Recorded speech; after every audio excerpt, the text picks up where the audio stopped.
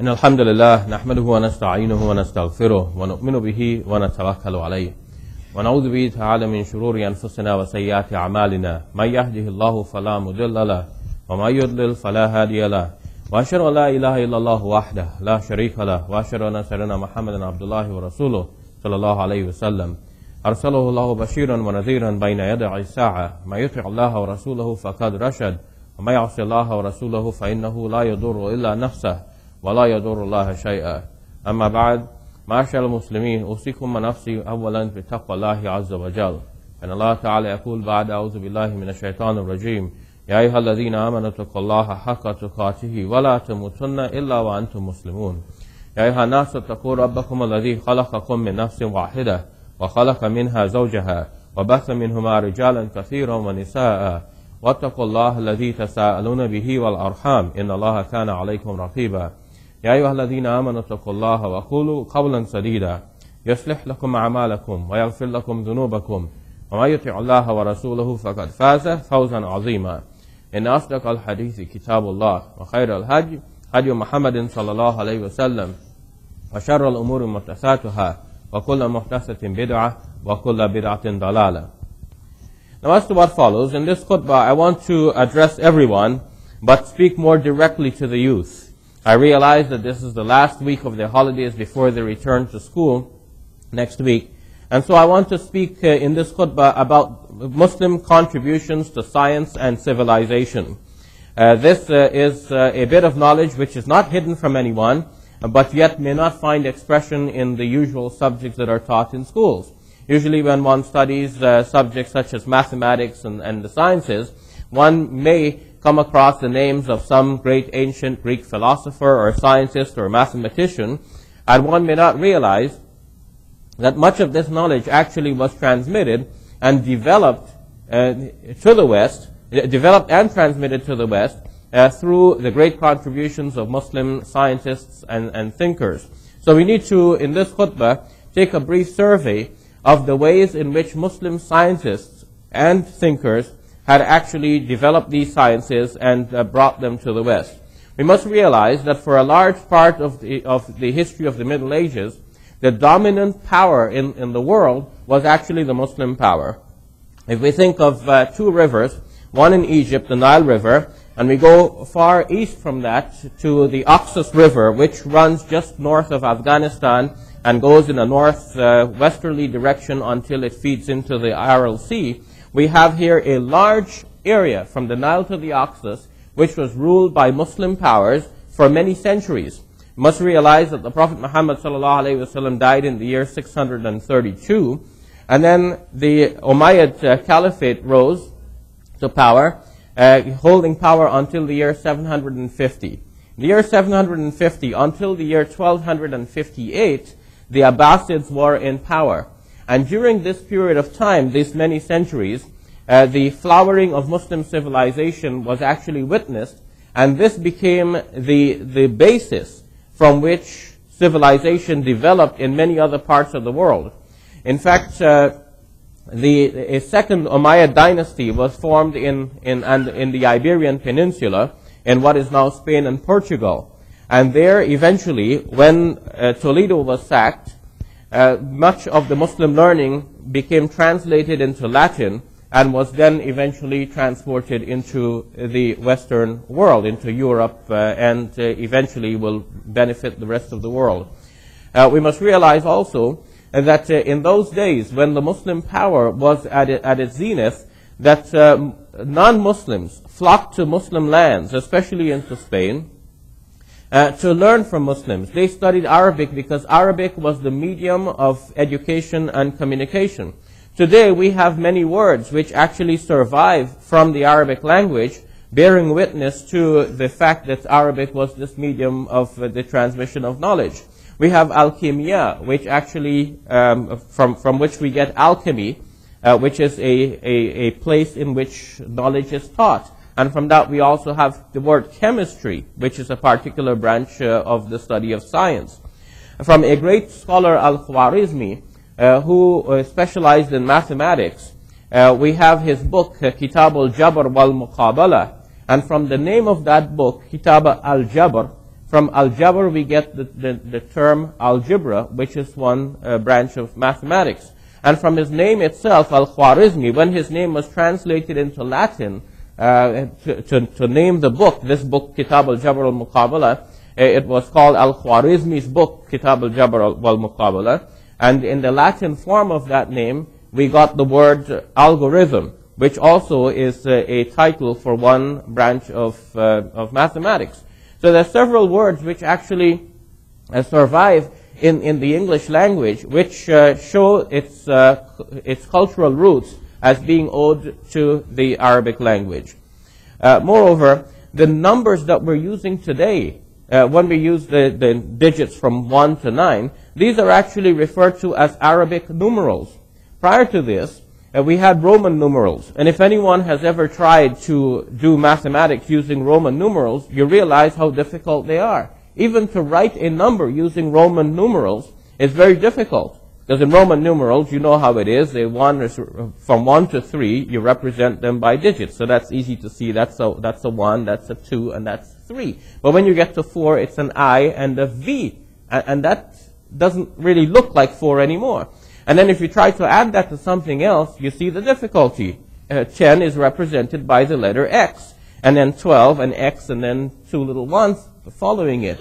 And then when you try to add and subtract and multiply, it, it, becomes rather impossible.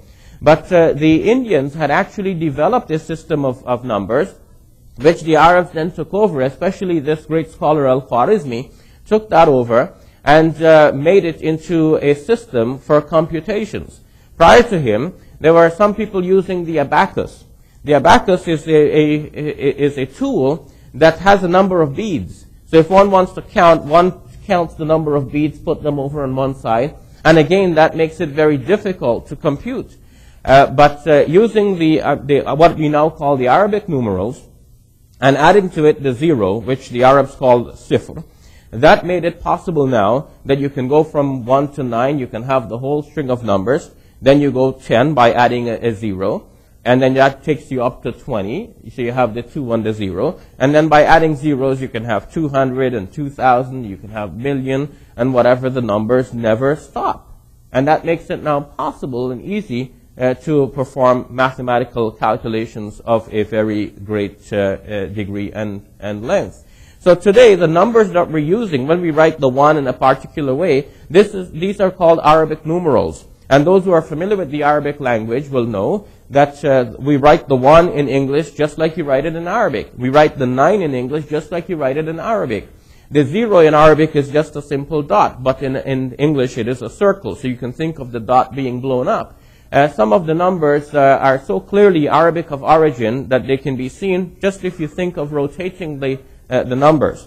Uh, so if you think of the Arabic uh, 2, it is written like that, and it is just in fact the, the rather like that, and if you just think of rotating it, that's the way we write 2 in English. Similarly, 3 is written like that in Arabic, and it's just a matter of rotating it to see that that's the, the way we write 3 in English without the final stroke at the end.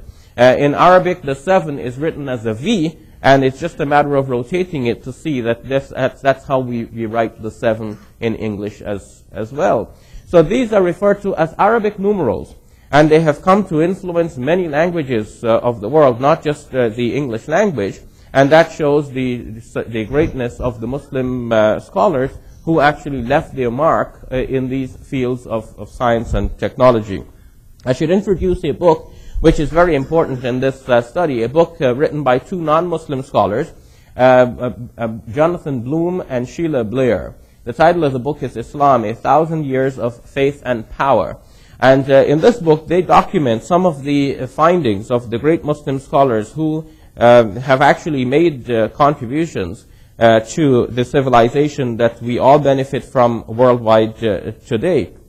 And they have gone into great lengths of uh, uh, telling us how the Muslim scholars, in fact, translated many of the books from uh, Greek philosophers such as Aristotle, uh, mathematicians such as um, uh, uh, Uh, uh, Pythagoras and, and, Ptolemy, and um, other uh, Archimedes and other great scholars of, of the Greek world. They translated their works into the Arabic language And then those Arabic language translations were then finally, eventually retranslated into Latin and then passed on to the non-Muslim world, into, into Europe.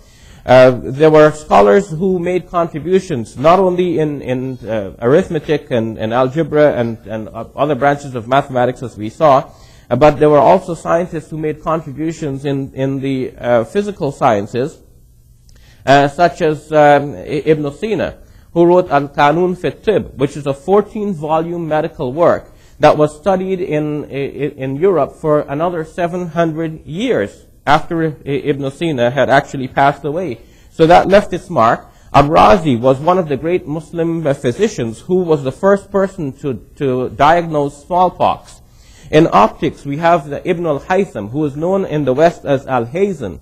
Alhazen actually, or Ibn al-Haytham, to use his correct name, uh, he uh, uh, specialized in optics, and he was the first person we know to have properly described how sight works. Prior to him, we had the theories of Euclid and others, which said that a light comes out from the eye and actually hits an object. But uh, Ibn al-Haytham properly described it by saying that it's actually light reflected off objects entering the eye that uh, helps us uh, to, to see.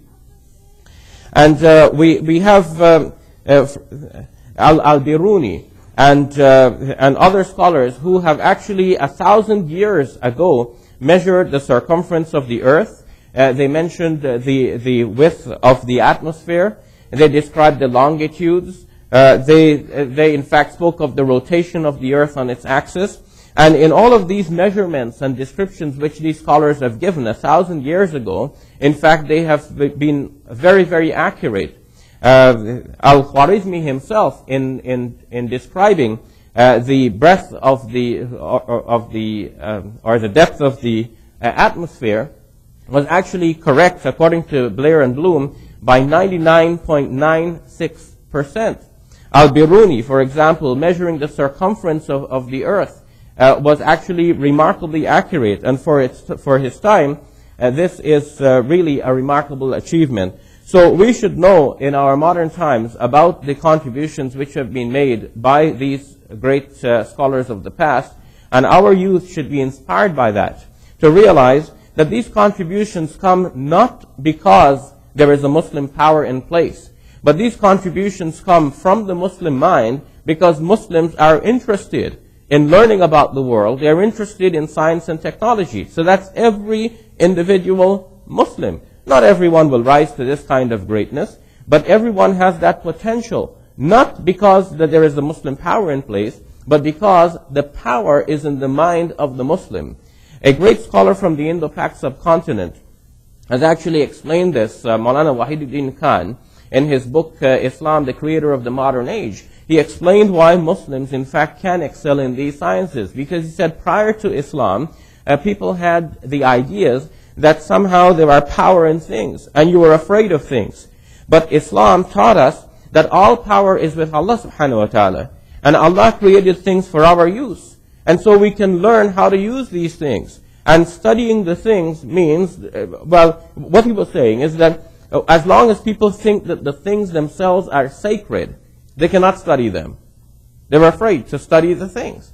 But once we realize that Allah subhanahu wa ta'ala is Al-Quddus, He is the one who is holy, so you cannot ask about Allah subhanahu wa ta'ala, but you can ask about the things. You can start now prying open, examining, thinking about, studying, observing the things. You no longer have to be afraid of them, thinking that they have some magical power or some godly or divine power. And that made it possible for Muslims. Moreover, Muslims uh, became interested in science because they had to measure their time, for example. The times of the prayer had to be computed, and, mus- and the times of the, of the lunar months had to be computed. So Muslim scholars began computations in all of these things. The inheritance laws had to be uh, uh, figured out. And uh, the division of inheritance had to depend on algebra. So Muslims became interested in the sciences because these things are, are in fact stimulated by the teachings uh, of the Islamic faith. The direction of the Qibla had to be known by Muslims regardless in what part of the world they were. So they started uh, developing instruments that will help them to determine the direction of the Qibla. And so Muslims developed what is called the astrolabe, which is a, a primitive compass, but a very good one, that helped uh, ships, when ships uh, actually were out of sight of land, they could actually, using these astrolabes, determine the position of uh, their, their ships. In fact, uh, one of the greatest cartographers of all times is Al-Idrisi. When the Norman uh, er, uh, king of Sicily, Roger II, sacked the Muslims from Sicily, he nevertheless continued to employ Muslim experts in a variety of fields, including Al-Idrisi.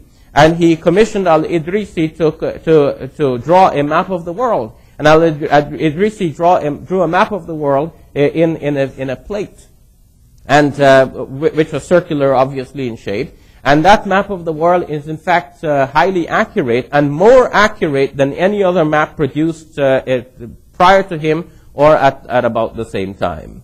Uh, so uh, we, the Muslim then should be inspired by these um, recollections of the great Muslim uh, scholars and, and thinkers from the past and we should realize that we individually today, wherever we are, wherever the possibilities open up for study, we can make similar contributions, not only for the glory of Islam, but for the benefit of all humankind.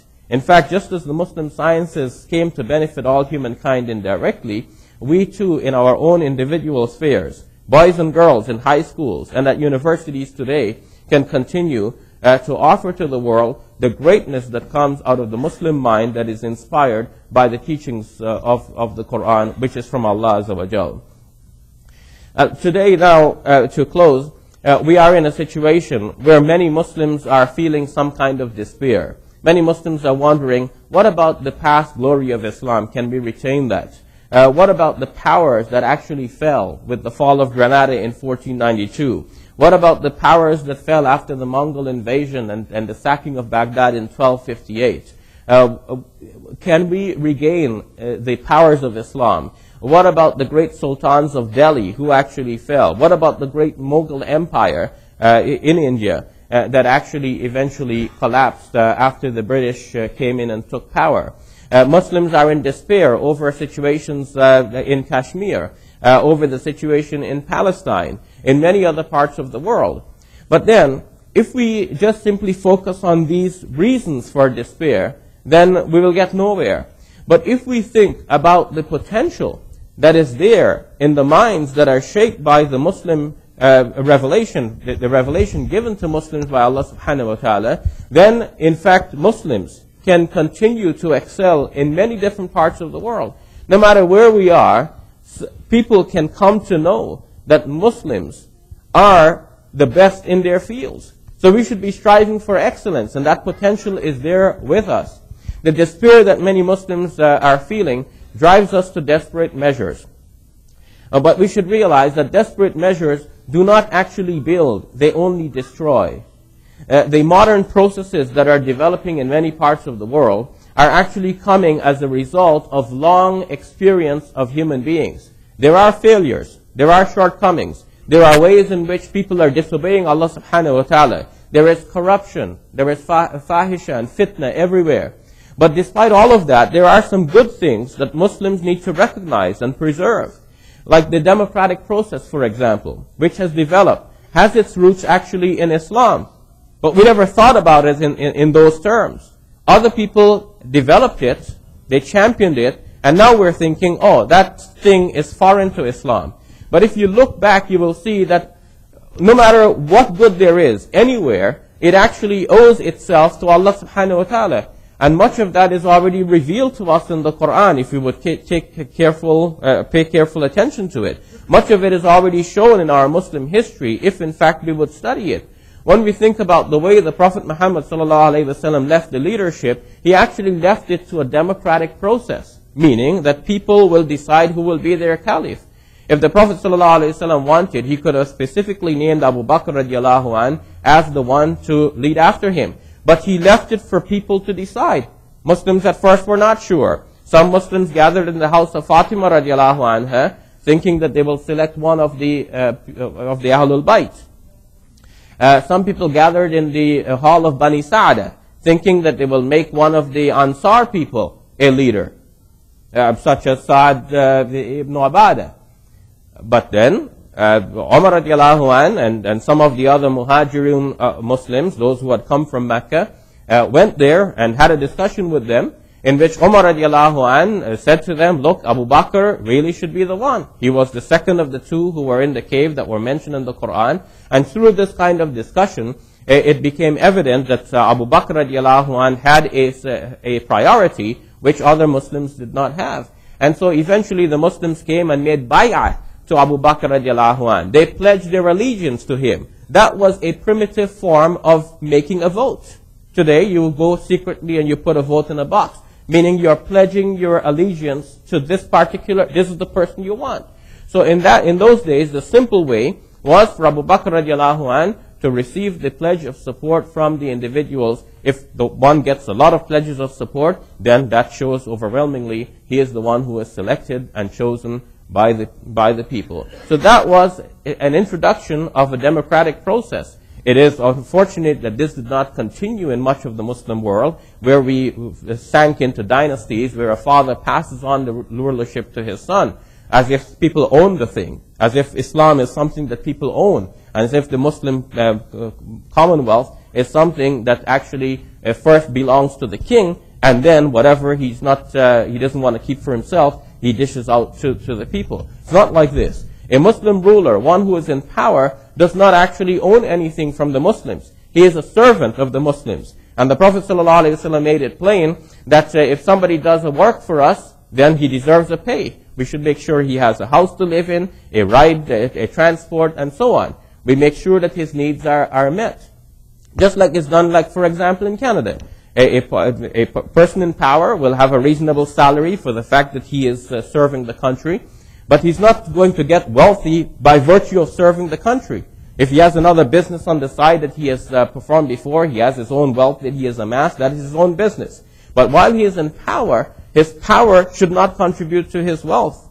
He should have a reasonable income, just like somebody else with a similar sort of qualification, dedicating himself to a similar level uh, of, of occupation, whether in business, in industry, or whatever.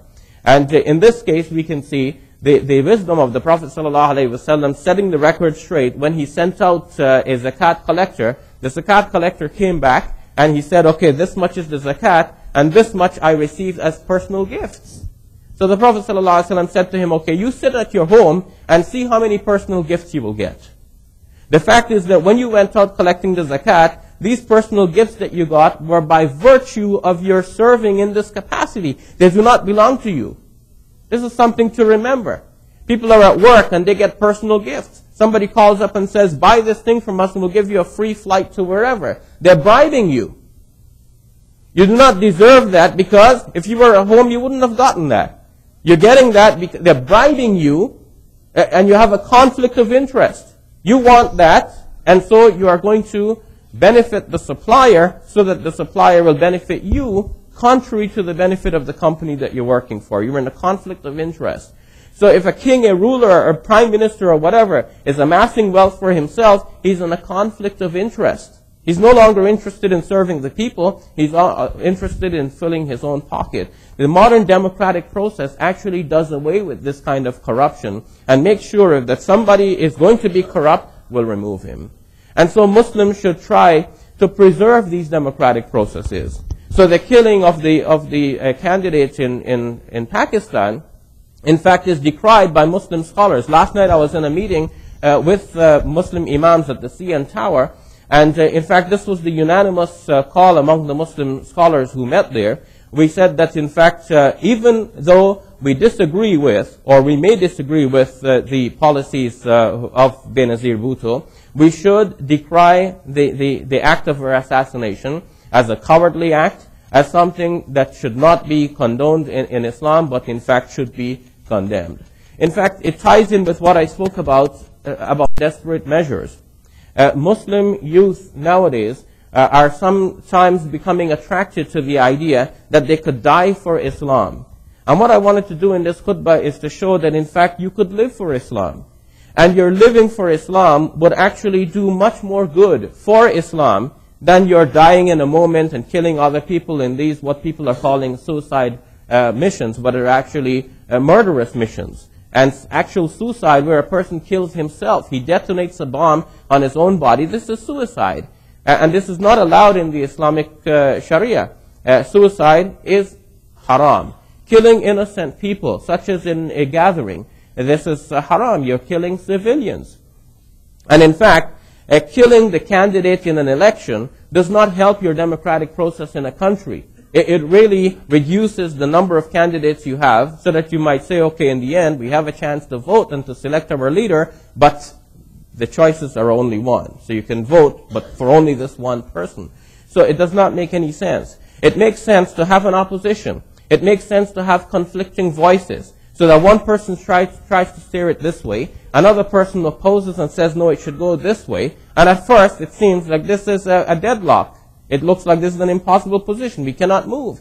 But through discussion, uh, through dialogue, through exchanges, eventually the proper course becomes uh, clear. And it is the middle course. As we say in Arabic, خَيْرُ الْمُورِ أَوْسَطُهَا the, the best uh, matter, uh, the best of the affairs is actually the middle position. So when one person steers it this way, and another person tries to pull it this way, eventually it is the middle position that will prevail, and that will be the best for the people. That's why you need opposition. So you don't kill off your opposition, you preserve the opposition. You preserve this democratic process that will give you the opposing voices so that the best will actually come out in the end. That in fact is Islam. And I hope that in this khutbah I have made it plain that Muslims can live for Islam and their contributions everywhere will demonstrate that the Muslim mind is a great mind. It is not a mind that destroys things. It is a mind that invents, that creates, that builds, that offers to the world the greatness of the Quranic revelation, that inspires us to do math and science and to explore geography and to study history. الحمد لله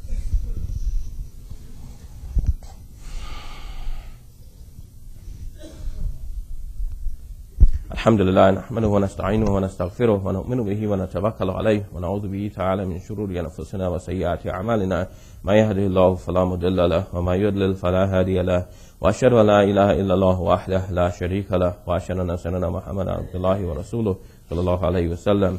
أعوذ بالله من الشيطان الرجيم. إن الله وملائكته يصلون على النبي. يا أيها الذين آمنوا صلوا عليه وسلموا تسليما. اللهم صل على محمد وعلى آل محمد كما صليت على إبراهيم وعلى آل إبراهيم إنك حميد مجيد. اللهم بارك على محمد وعلى آل محمد كما باركت على إبراهيم وعلى آل إبراهيم إنك حميد مجيد. وصلى الله تعالى على جميع الأنبياء والمرسلين والملائكة المقربين والخلفاء الراشدين أبي بكر وعمر وعثمان وعلي ومن تبعهم بإحسان إلى يوم الدين. اللهم اغفر لنا ولإخواننا الذين سبقونا بالإيمان ولا تجعل في قلوبنا غلا للذين آمنوا. ربنا إنك رؤوف رحيم. اللهم اغفر للمؤمنين والمؤمنات والمسلمين والمسلمات الأحياء منهم والأموات. إنك سميع قريب مجيب الدعوات. اللهم أيد الإسلام والمسلمين. اللهم انصر من نصر دين محمد صلى الله عليه وسلم واجعلنا منهم. اللهم اخذل من خذل دين محمد صلى الله عليه وسلم ولا تجعلنا معهم. عباد الله رحمكم الله. إن الله يأمر بالعدل والإحسان وإيتاء ذي القربى وينهى عن الفحشاء والمنكر والبغي يعظكم لعلكم تذكرون. كم الصلاة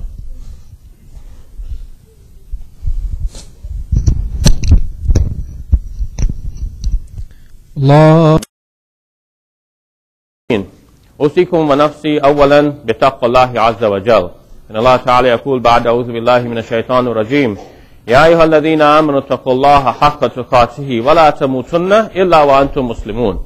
يا أيها الناس اتقوا ربكم الذي خلقكم من نفس واحدة وخلق منها زوجها وبث منهما رجالا كثيرا ونساء. واتقوا الله الذي تساءلون به والأرحام. إن الله كان عليكم رقيبا. يا أيها الذين آمنوا اتقوا الله وقولوا قولا سديدا. يصلح لكم أعمالكم ويغفر لكم ذنوبكم. ومن يطع الله ورسوله فقد فاز فوزا عظيما. إن أصدق الحديث كتاب الله وخير الهدي هدي محمد صلى الله عليه وسلم وشر الأمور محدثاتها وكل محدثة بدعة وكل بدعة ضلالة. As to what follows, in this khutbah I want to look at some stories in the Quran, particularly stories about babies and about young people, boys and girls. So I want all of the young people here to listen up very carefully because you might hear something of a story that is very close to your own story in life. The Quran, in fact, is full of stories, and it is uh, a shame that we don't read the Quran, but we read other books, stories, and novels, and, and so on. And we become fascinated with the Hollywood productions, the Harry Potters, and things like that. But how often do we pick up the Quran and read it and enjoy the beautiful words of Allah and the stories that He relates to us about people in the past that may, in fact, inform us about our present? We have stories about babies in, in the Quran, and baby stories are always, in fact, very fascinating and beautiful. Uh, Surah uh, uh, Maryam, for example, tells us the story about the birth of the Prophet Isa and what uh, he said when he was only a child, his words of wisdom. Uh, we have um, Surah Al-Qasas, Surah 28 of the Quran is act- actually called the surah about the story. And there we have the story of Musa alayhi salam especially the story about when he was only a baby. Uh, we have uh, stories of young people. For example, we have Surah 31, uh, that is Surah Luqman. Uh, that uh, surah tells us about Luqman, a wise person, uh, may Allah have mercy on him, advising his son. So the advice that was given to the son of Luqman is an advice that every parent would want to give his or her own child. And every child should want to receive the same advice as well. So we need to read the beginning of Surah 31, Surah Luqman, to find out what the advice is. We have the story of Ismail salam when he was young and uh, how he grew up and he became of age to work with his father. That story is told in Surah 37, Surah As-Saffat, uh, starting with ayah number 98. So you might want to open Surah 37, Surah As-Saffat, Go to ayah number 98 and read the story of Ismail alayhi salam, how he related to his father and how he was willing uh, to work with his father and carry out whatever commandment Allah subhanahu wa ta'ala gave to his father. So these are things that are there in the Quran that are neglected and we need to go back and, and look at these uh, stories there. Even the story of Ibrahim salam is told about when he was yet a young boy and how he stood up for monotheism or the worship of one God subhanahu wa ta'ala. And that story is told in Surah Al-An'am, Surah 6. And we read about Ibrahim alayhi salam challenging the, the worship that his people were accustomed to. They like to worship idols. His father, in fact, used to carve the idols that people worship. So he says to his father, my father, why do you carve these things which uh, are of no benefit? They cannot help people or harm them he tried to reason with them and show them that a revelation was coming to him, uh, which uh, proved that all of this is false. And when they wouldn't listen, when they went out to uh, observe their festivities, uh, Ibrahim alayhi salam, while yet a young boy, destroyed the idols of his people.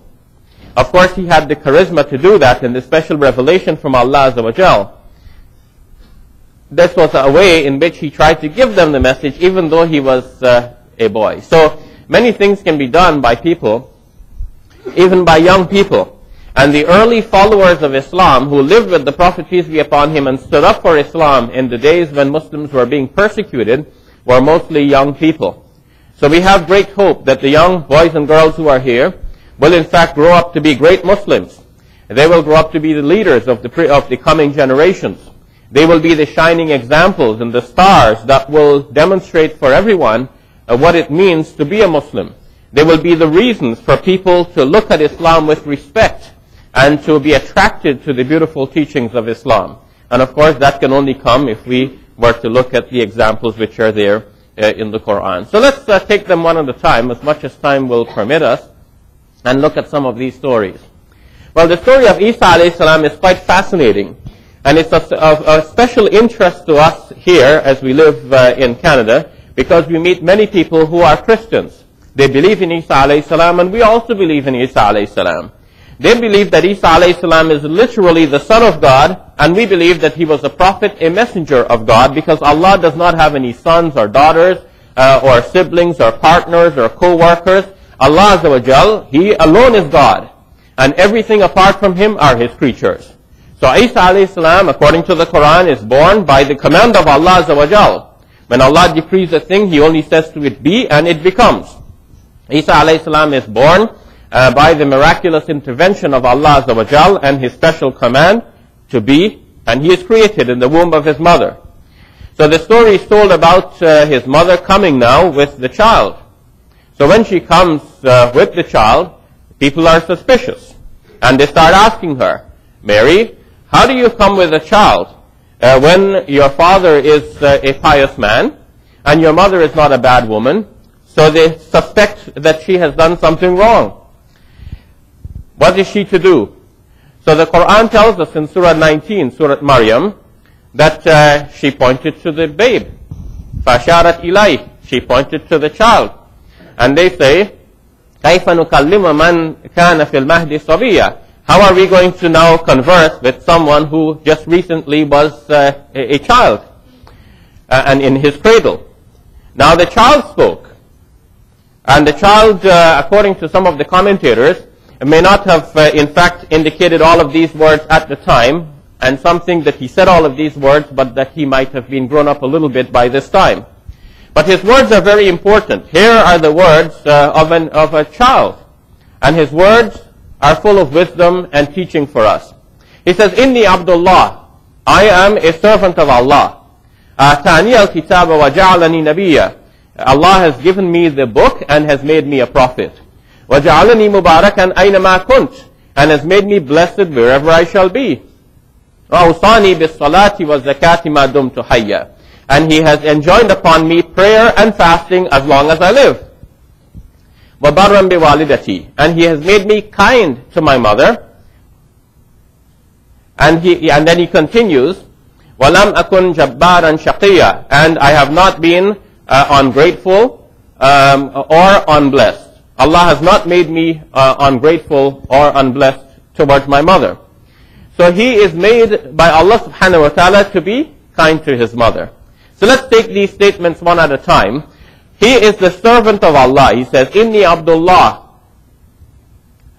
Uh, some of the uh, commentators on the Quran have wondered why this passage about the speech of Isa salam when he was a child is not recorded in the Gospels. And they think that it's because if one were to say that Isa salam spoke when he was a child, then somebody may ask you, well, what did he say? And because the Gospels were written at a time when people were starting to venerate Isa salam and uh, gradually uh, making him into a god, it was not uh, to them appropriate that they should include a statement which have him declaring that he is a servant uh, of Allah Azza Be that as it may, in the Quran it is quite clear that he is a servant of Allah. He says, Inni Abdullah. Allah has given him the book and has made him a prophet and has made him blessed wherever he shall be. And he says, وَأَوْصَانِي بِالصَّلَاةِ وَالزَّكَاةِ And Allah has commanded him uh, to offer prayer and to give zakat madum to hayya, as long as he remains alive. So some people ask, if Isa alayhi is alive now in heaven as Muslims believe, does that mean he still has to make salat and give zakat? Well, who will he give the zakat to? And we should answer that every command from Allah subhanahu wa ta'ala depends on the circumstance and the ability of the people involved. So when he is here on the earth, then he can give zakat. But if Allah subhanahu wa ta'ala took him back, then there's no one to give zakat to, then of course the obligation is lifted. Especially if he himself does not have the currency of this world, out of which zakat now has to become due. So there's no logical problem with that. It is within the power of Allah subhanahu wa ta'ala to keep a person alive. And if Allah subhanahu wa ta'ala keeps Isa alayhi salam alive in heaven, uh, that uh, does not negate this command which is given. But what is important also for our youth to learn is that Isa alayhi salam says that Allah has made him dutiful towards his mother. Barram bi walidati. The word bir in Arabic means kindness. But it is more than this. The, kindness towards parents, which in the Urdu language is say birrul walidain. Everybody knows this. This is an important teaching in Islam. Every one of us has parents. Even if you're grown up, you have parents. And even if your parents have passed away, you should still think about doing some duty to your parents, which may mean that you give some sadaqah jariyah, a, a continuous sort of charity which will benefit your parents. You can make dua for your parents, asking Allah subhanahu wa ta'ala to forgive them, because after all, they used to have mercy on you when you were young. Unfortunately, most of us wait until that time to be kind to our parents. When the parents are alive, we treat them as a kind of an annoyance. When they have passed away, then we say, okay, we wish my parents were still here, and then I will give all these acts of kindness to my parents. Be kind to them now. When the children are growing up to a certain age, they start becoming embarrassed over their parents. You know, there's a certain age when the boy thinks, my dad is the greatest in the world. And then there comes to be another age when the boy thinks, my dad is an embarrassment to me. So we should watch for that age. And most people go through that age. Because that's the natural um, development in a person. One starts to feel independent. One starts to feel that one can do things on his or her own. And then we feel that people who are an authority above us are in some ways hindrances to us. So then we start to find faults in them. But we should not do this with our parents. We should keep uh, this perspective in life. We should understand that what we're going through is normal. If a child thinks that their parents are backward, stupid, speaking a foreign language, their curry smells bad, and so on, all of this is natural. It's not only Muslim kids that experience this, Italian kids experience it, kids from all kinds of backgrounds. This is normal and it's wide across the board. But we should recognize that this is happening, know why it is happening, know that this is part of the human psychology, and know how to overcome it. We overcome it, we overcome it by turning back to the teachings of the Quran, realizing that it is our duty as children to be respectful, respectful and dutiful towards our parents. Now that makes a lot of difference. People talk about harming the environment, and many will ask, well, why should I care for the environment? Well, because it is the duty of a Muslim. Because if we fulfill our duty, then we are fulfilling the purpose of our lives by serving Allah subhanahu wa ta'ala by doing what is right. And if we do what is right, then Allah subhanahu wa ta'ala gives us everlasting pleasure in the life hereafter. So we have a reason to be dutiful. We have a reason to do what is right, even when it is convenient. So we have a reason to be dutiful and respectful to, to our parents. We have a reason to ignore their faults and shortcomings. In fact, we have every reason to be thankful to them. Because many of our parents, in fact, have gone through much difficulty difficulty to raise us as children. And when we start to now feel independent, we're not aware of those difficulties. Some of us may have parents who are not educated. And we may start to despise our parents. See, dad didn't go to school. But perhaps your dad didn't go to school because in the years when you were younger, he was busy working to feed you, and that is the reason he couldn't go to school. You know, my own mom was not educated. But through her efforts and through her own very hard work to send me to school, now, of course, people can benefit from the knowledge which Allah subhanahu wa ta'ala has graced me to receive. So we do things that we are, in fact, just simply causes for. And your parents are causes for your own betterment and your future, your own development. So if you think yourself to be smart, Ask first of all, where did you get the genetic inheritance from? It's probably because you have smart parents. If you have beauty and, and handsomeness, it's probably because you have inherited that from your parents. So there's so much that you have to be thankful for. And if you have a position in life, if you're growing up in Canada, and you feel that Canada is a beautiful and wonderful place to live in, well, you're right. But you are here in this beautiful and wonderful place to live in because of the sacrifices of your parents. Many people have left the comforts of their home environments, the village that they were familiar with, the people that they knew, the friends that they loved, the, the relatives that they cared for. They wept and they left. And they came here in order to set up the opportunity for you to have a good life. Not for them. Many people in their, now in their advanced years might be thinking, well, for me, it's nothing left but to just wait to meet my Lord. But let me go to that foreign country in the hope that I may set up a better level of opportunity for my kids, economically, uh, financially, health-wise, in terms of education. I want better opportunities for my kids. That's the thought of parents. I may have it bad, but I don't want my kids to go through the same things. And kids don't understand this yet. But a time will come when you will also be parents. And that is when you will understand. See, there are some things that you don't quite understand until you have experienced it. If one tries to describe what a mango is like and says, okay, the mango is sweet and whatever, you won't really understand it until you taste it yourself. So how are we to understand then the story of Musa alayhi salam when uh, Musa is only a baby? And the Pharaoh, the king of the time, he wants to kill off all of the male children from the Bani Israel. Because he is told that, that one of the children of the Bani Israel will rise to power and topple his own power. So he sees that as a threat. Now he wants to kill off all of them. And this is what the Quran speaks about. When it says that the Pharaoh was killing off the males and keeping the, the females. So when he sent his soldiers now to the, the home of Musa alayhi salam, what was the mother of Musa to do? Musa was only a baby, and this baby might be killed, would be killed. So Allah subhanahu wa ta'ala inspires her to put the baby into the river. Of course, put in a protected basket, but the details are not given. So she's going to put this baby in a river. But how is she going to put the baby in the river uh, this is now unbecoming of a mother. To part with her child in this way, you're going to put your baby in the river, not knowing where the river will take the baby. So Allah subhanahu wa ta'ala inspired her that in fact we are going to return him to you. We are going to return him to you. This is the promise of Allah Azza wa Jal.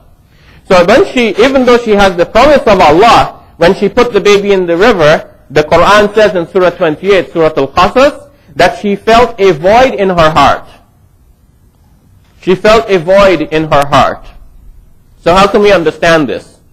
One can only understand this if he has children himself. If one doesn't have children, one cannot understand what is that void in, in, one's heart because one has never experienced it.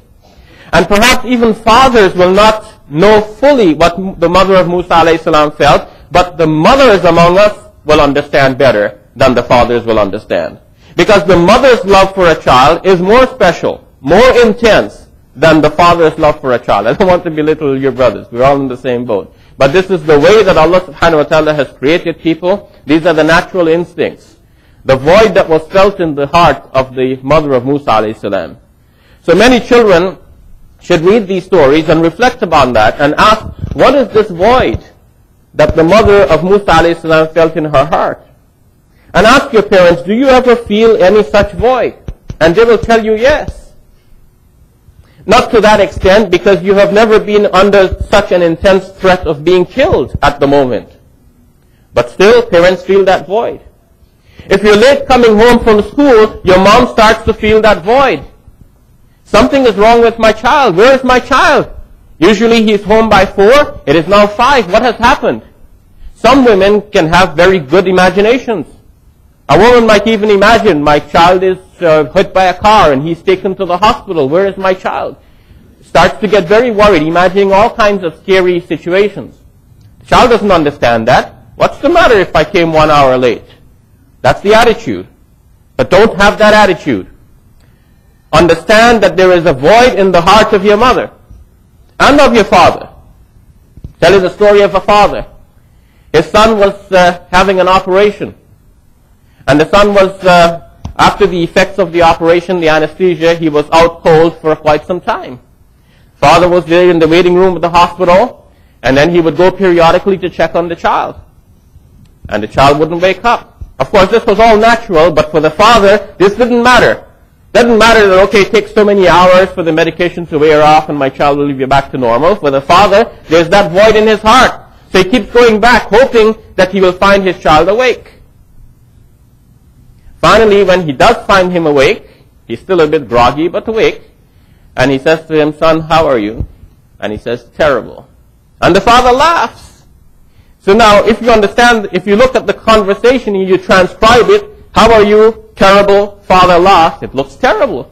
Why is he laughing? His son is feeling, feeling terrible and he's laughing. Well, he's laughing because the void in his heart has now suddenly been filled. He wanted to hear his child speak. He wanted to know that his child is alive and well. Okay, he feels terrible. That's what he's saying. But at least I know he is alive and well. The void in the heart has been filled. Father laughs. Finally happy. So if there was one thing that the father wanted to buy at that time, If there was one thing that he could sell all of his treasures to get back, it was the life of his child. Even though at the time the child wasn't in any great danger. If one uh, analyzes it logically, one would say the father is being uh, unreasonable. But one cannot analyze it logically. One has to analyze it emotionally and understand that there is a void in the heart of the father and now suddenly that void has been filled. So there's much in the Quran for us to think about and reflect on, to learn from. The Quran is a very deep book. It's full of emotion and psychology and logic. There's something there for everyone. There are stories about babies, there are stories about youth, there are stories about women, there are stories about men. Yes, there are stories about youth. Surah Al-Kahf, the 18th chapter of the Quran, speaks about some youth who, in order to preserve their religion, had to go take refuge in a cave to hide from their people. Because they were monotheists. They were believers in one God. And people wanted to pressure them, force them to acknowledge other gods, which they wouldn't. So to save themselves, they went and hid in a cave. And that shows you the non-violent attitude of the true believers in Allah But we're not here to fight with people. If they want the land to themselves and they want to worship whatever they want to worship, we, we will worship Allah in a way that we can. If we have the power, we'll make things right. If we don't have the power, we won't make things worse. We'll go off to ourselves. We'll worship Allah subhanahu wa ta'ala in a way that we can until Allah takes us back. It's not about this life. It is about our relationship with Allah Azza wa So they took the non-violent alternative and they worshipped Allah Azza wa in a cave. Story of some youth. Before I finish, I want to get to the story of uh, Yusuf alayhi salam. I mentioned that briefly in passing, and I now come back to it. Surah 12 of the Quran. Surah 12 is called Surah Yusuf. The, uh, the surah or the chapter about the Prophet Joseph. Surah Yusuf. And it begins by saying, نَحْنُ نَقُصُّ عَلَيْكَ أَحْسَنَ الْقَصَصِ We're going to relate to you the best of stories. So the story of Yusuf really is a beautiful story. And young people, especially young men, boys in their teenage years, uh, may in fact uh, benefit by reading this story. One aspect of the story shows how Yusuf salam and other young men might be seduced by people who want to lead them into wrong actions, and how he maintained his chastity and his purity with Allah He was, of course, as we know from the previous part of the story, a slave. He was a slave in Egypt. The wife of the Aziz who owned him uh, felt attracted to him because Yusuf salam apparently was quite beautiful. Not apparently, but in reality so. In fact, we are told that when a man enters paradise, he will be given the good looks of Yusuf salam. So there's something to smile about, brothers. And we ask Allah subhanahu wa ta'ala to uh, put us in that, in that place, Dar es Salaam. So Yusuf was very handsome and this woman was attracted to him. And she tried to invite him towards lewd behavior, but he always resisted. Until one day she saw the opportunity and she locked the door behind him. So she thought she would definitely have him. But Yusuf salam saw the ayat of Allah subhanahu wa ta'ala. He was conscious of his duty to Allah and so he raced for the door. And she tried to grab him and tore his shirt. But at the door, they met her husband. So now some explanation has to be given. She began to accuse him. See, that's how the story turns around. And brothers have to be very careful of this. I knew a brother who, in an act of kindness, gave a lift to, to a woman. So she, he gave her a lift, and then she invited her, him for tea, and then uh, she started to call the cops, saying that he was attacking her whereas it was only a setup. This was her plan from the start. So one has to be careful because the story might change. Do not be in that situation where the story might change and put you in trouble. In fact, you shouldn't be in that situation anyhow because you can smell the shaitan from a distance. In the first place, if she wants to lift, if she wants a lift, she can call a cab.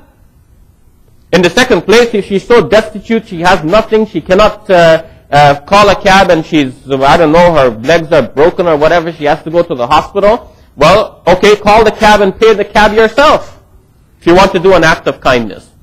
But don't put yourself in that situation where suspicions can arise. Smell the shaitan from a distance.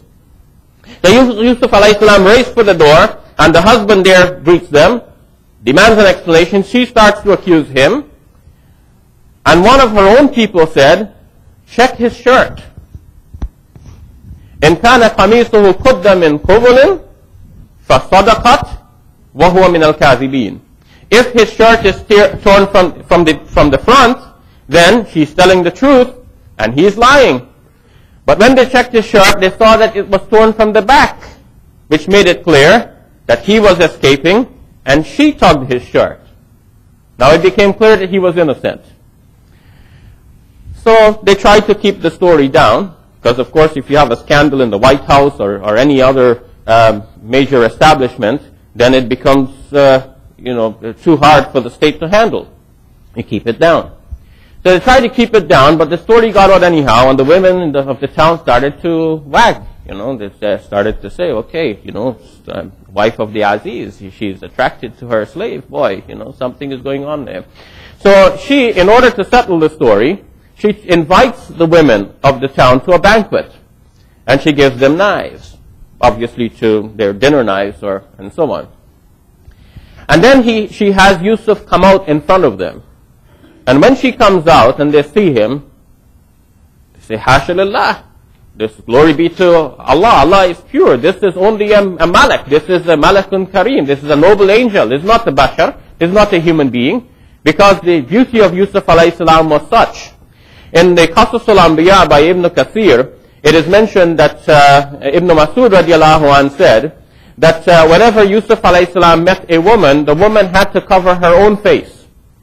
And that's probably because they didn't generally cover their faces, but she had to cover her own face. And the reason is not given, but probably because the bashfulness or the, uh, the, the, her, her own blushing would become evident as she sees Yusuf alayhi And uh, according to another narrative, also in Qasas al-Anbiya by Ibn Kathir, Yusuf alayhi himself used to cover his face when he met people because his beauty was so resplendent that he would have an effect on the people that he met. So he himself would cover his face.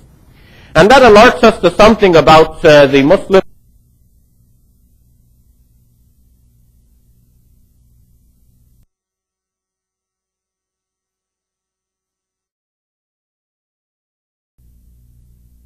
might have deemed that uh, it's better for the women, if they're, especially if they're attractive, to cover their faces so they do not become a fitna for others.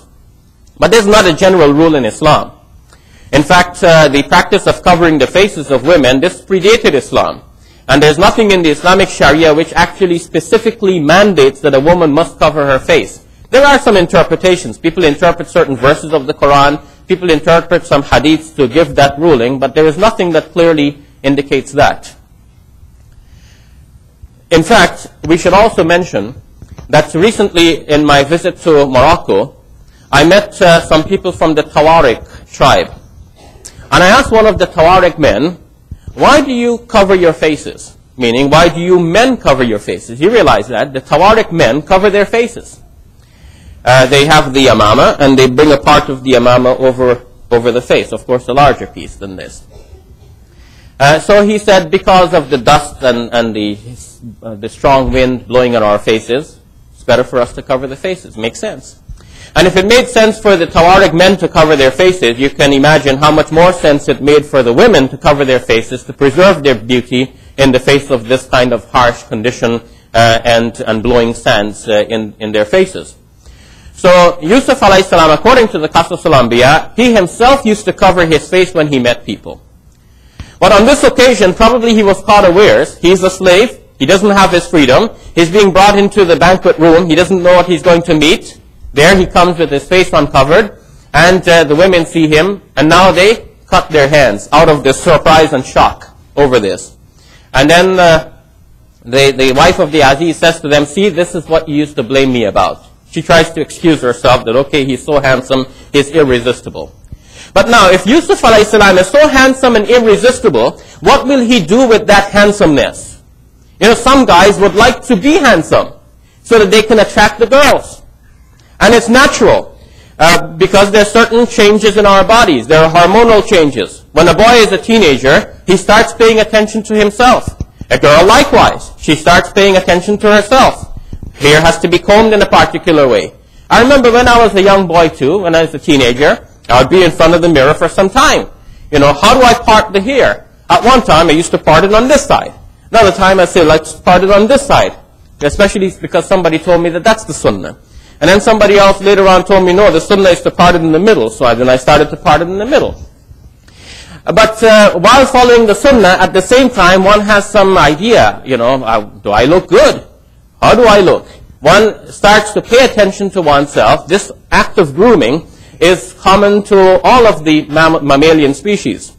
Human beings also, we have the changes in our bodies. Now, uh, our bodies are preparing for marriage.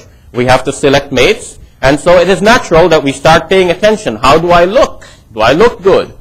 And some guys would like to look good. They want to have the best perfume. They want to have the best uh, clothing. They want to have the best looks for the purpose of attracting the girls, meaning outside of marriage. But Yusuf salam had a different idea. Even though he had the good looks, he had the taqwa of Allah subhanahu wa ta'ala. He wanted to please Allah. So when these women were all getting crazy over him, as though he was some kind of a rock star or something, he didn't want them to be crazy over him. He said, Ya Rab, asijnu ahabba ilayya mimma tad'unani ilay. The, the prison is more beloved to me than what they're calling me towards. He would prefer that he would be locked up in prison in order to be saved from the, the wiles of, of these particular women. And Allah subhanahu wa ta'ala answered his dua. And it seemed good to the Aziz to put him in prison for a while. And so he was put in prison until many years later, in fact, the story now comes to be um, brought to, to evidence, and the woman confesses that I was the one who tried to seduce him, and uh, the way of Yusuf salam becomes clear. So there is a lesson in this for us, that we can always head for the door. You might be in a situation. You might be in your office. You are having a business meeting, and then you see that the situation is turning to the worse. You smell the shaitan from a distance head for the door. Pick up the phone. Kids, if somebody tries to touch your body in a way that makes you uncomfortable, report it. We've heard stories about incidents in schools where children are forced to perform indecent acts and they keep it secret. Don't keep these things secret. Because Allah subhanahu wa ta'ala knows that it is happening. And your part in it is to do what you can to report it to your authorities. Talk to your parents. Talk to your teachers. If the teachers themselves are involved, talk to the principal. Cannot get satisfaction there, call the police. Pick up the phone. Head for the door. This is the way out. The door may seem locked, but Allah subhanahu wa ta'ala will open ways for you, as He did for Yusuf alayhi salam. We have to bring this khutbah to a close. But again, we have much in the Quran by way of stories. Stories of children, stories of youth, stories of boys and girls, stories of men and women. And we can read these stories and see in our own lives sometimes the unfolding of the same mistakes which people made before and which we could have avoided if we had actually read these stories and internalized them. وآخر دعوانا الحمد لله رب العالمين.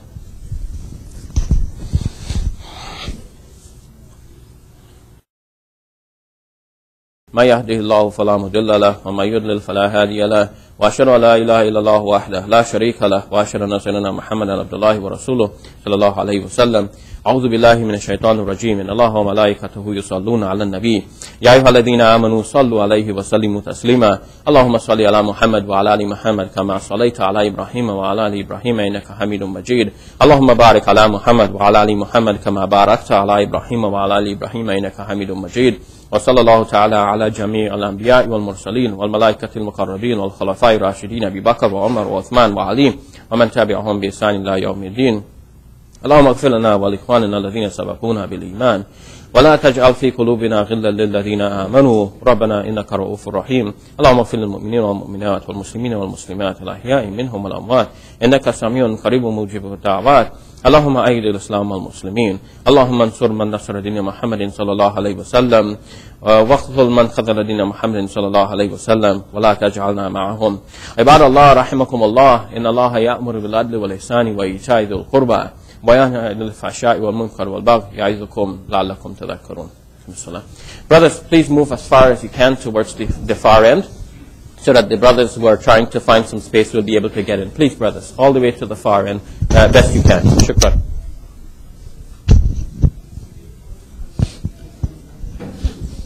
الله أكبر الله أكبر الله أكبر الله